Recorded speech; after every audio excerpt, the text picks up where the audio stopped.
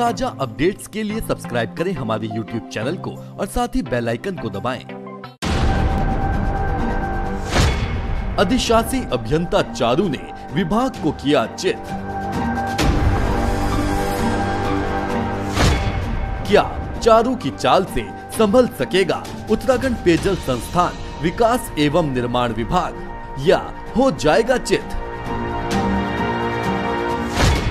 आखिरकार एक महिला अधिशासी अभियंता कैसे अपने होम टाउन में ही पिछले 14 वर्षों से टिकी हुई है, जिसके लिए मानो की विभाग के कायदे कानून नाम की कोई चीज़ ही ना हो।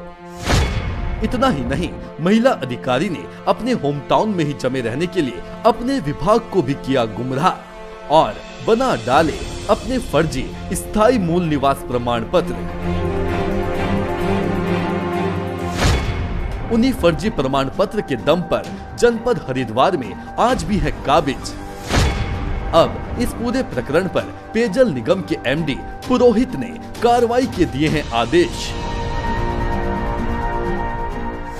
तो क्या होगी कार्रवाई? अधिशासी अभियंता के चालूपन पर। क्या अब चारू पर कसेगा पेयजल का शिकंजा? जिसका हम करेंगे जल्द पर्दाफाश। आप देखते रहिए महिला अधिशासी अभियंता चारू अग्रवाल का सच, सिर्फ़ और सिर्फ़ श्रमिक मंत्र पर। स्टोरी हेड आलोक शर्मा के साथ।